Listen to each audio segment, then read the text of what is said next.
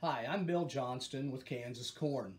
And today we're going to talk about growing degree days. Now, first of all, I'm going to assume that if you're watching this video, you've already done the math problems associated with growing degree days. And I don't need to explain that because hopefully you understood that. What we're going to talk about is how farmers use that information. First of all, let's start out with some basic information about growing degree days. See, it's not anything new. Actually, it's been around since the 1730s. It was developed by a French scientist named Reaumur. And a couple things that I want you to know as we progress forward is first of all, growing degree days, also called growing degree units, sometimes called heat units, sometimes called thermal units. I'm going to refer to as growing degree units moving forward. They are accumulated from when a seed is planted until it reaches black layer. And we're going to talk about black layer a little bit more in, in a, a minute or so. But it also assumes that the plant has adequate water and nutrients available to grow. One of the first things I want to make sure that you understand, though, as we go through this, is that you know how an, a farmer uses this information. I mentioned the black layer a little earlier, and I want you to see actually what that is. In this case, the farmer will go to an ear of corn. They'll take a, an ear of corn and they will scrape the end of it off. And they'll see that there's a black spot there, or the black layer. That black layer appears at about 30% moisture in corn, and it indicates physiological maturity. At physiological maturity, that means this plant is done growing. It's done taking in water, it's done taking in nutrients, and now it's going to start drying down. As I said, at this point, it's around 30% moisture. We need this corn to get to around 15% moisture if we're going to harvest it for grain. And under normal conditions, that's going to take somewhere around 20 days. I said a little earlier that it was really important that you understood how farmers used growing degree units. And trust me, they understand how they work. They understand the importance of growing degree units. They understand how they are used in the development of varieties of corn and other plants. But I do want you to understand right up front, farmers don't actually use the term growing degree units very often when they're visiting with others in the ag industry.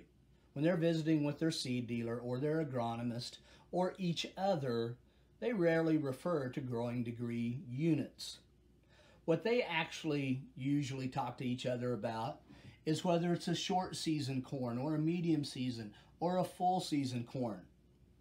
Or they'll refer to the number of days that that season, that, that corn takes to go from planting to black layer. For example, they may say it's a 100 day corn or 110 day corn. That's how they visit with each other in reference to growing degree units. Do they understand it? Oh, sure they do. It's just not a term that they use in a casual discussion among other farmers and their seed dealers. So let's link these terms together. Farmers terms and growing degree units using a 110 day corn. For example, let's say the farmer decides that he's going to plant on April 20th. Well, in actual days, 110 days, we are at black layer or physiological maturity at August 10th in actual days. Remember that corn growth requires 50 degrees. That's why your base was 50 in the math problem. So on April 20th, the farmer plants his crop, he can expect in two or three actual days under the right conditions that that seed's going to germinate. But it's not like that seed's just laying there and on the third day it says, hey, I better sprout. It has requirements of growing degree units. In most cases, it needs 70 growing degree units to germinate or to sprout. The same is true of emergence. That normally happens at four or five days. And it needs 100 growing degree units. Well, these don't always move together like this.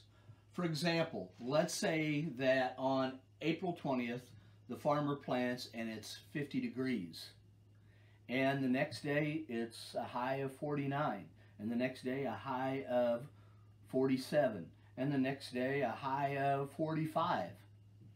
Well, see now those that seed is laid there for four days and has not accumulated any growing degree units because it never got above 50.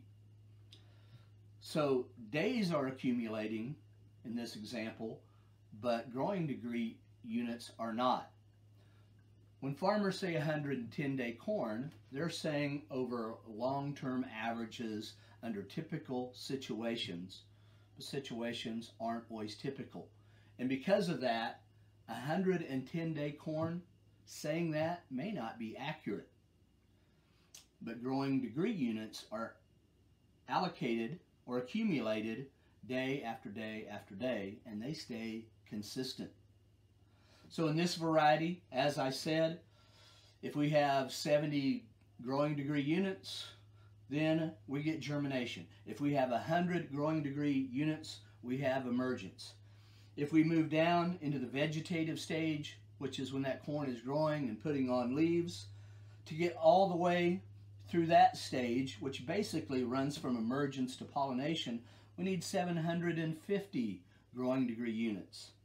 For pollination to occur with this particular variety that I'm using as an example, we need 1150 growing degree units. For it to reach black layer, we're at 2700 growing degree units. This will stay consistent, but in the example I gave you, 110 days may not be accurate in the end because when we started, we weren't accumulating any growing degree units. Farmers rely on the professionals like their seed dealer and or their agronomist and their own experiences to find the products that best meets their needs. Growing degree units is a starting point. They're also going to look at things like yield, drought tolerance, disease resistance, and lots of other possibilities that can help narrow down the choice of the corn variety that they want to use. Seed dealers understand completely what farmers are talking about when they make reference to 100 day corn or 120 day corn. And I'm going to show you this by showing you this website provided by a very popular seed dealer. I've already went in and pre-selected my zip code and pre-selected my crop, which is corn. If I look at this site, there's nothing on here about growing degree units. But if I look to the left, I see relative maturity from 101 to 120 days. See, they're talking in farmer language here. They're talking about 101 day short season corn to 120 day or full season corn. And on this site for northeast and eastern Kansas, it gives me all the options that they would suggest for me. But using some farm terminology, I want to narrow my choices. I'm going to slide this scale down, and I only want varieties that are 101 to 105 days maturity. Well, there are my choices. Or let's say that I'm only interested in more full season corn from 115 days to 120 days change it on this sliding scale, and look at the varieties I have to choose from. See, seed companies understand farm terminology. They're going to use growing degree units to figure out these varieties, but they're going to put it in terms that farmers use when they relate to them. So in conclusion, how does the farmer use this? How does a farmer use growing degree units? We can use it in several ways. I've given you about three examples here that can help that farmer manage his crops.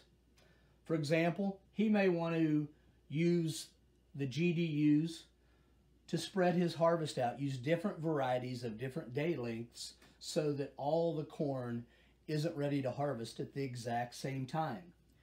He may want to move the time that the plant pollinates around so that it's not pollinating under the worst weather, condition, weather conditions for pollination.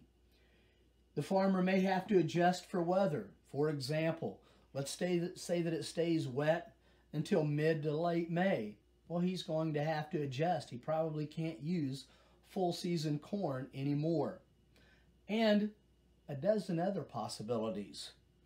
Hopefully, you now understand how farmers use growing degree units to improve their management. Have a good day.